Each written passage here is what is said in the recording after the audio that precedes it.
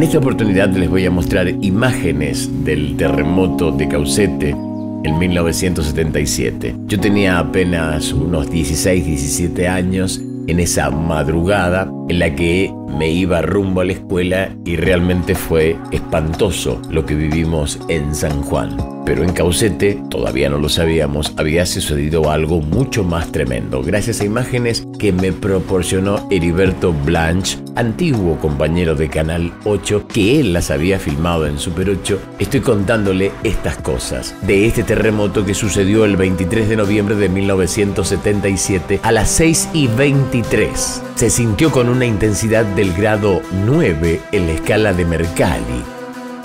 El terremoto en Caucete causó 65 víctimas fatales, destruyó casas y edificios en toda la región.